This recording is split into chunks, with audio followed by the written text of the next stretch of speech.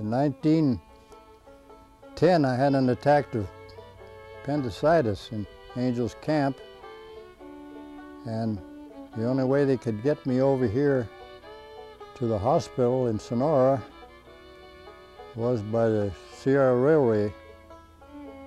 And this is the very car that I rode in, packed in ice.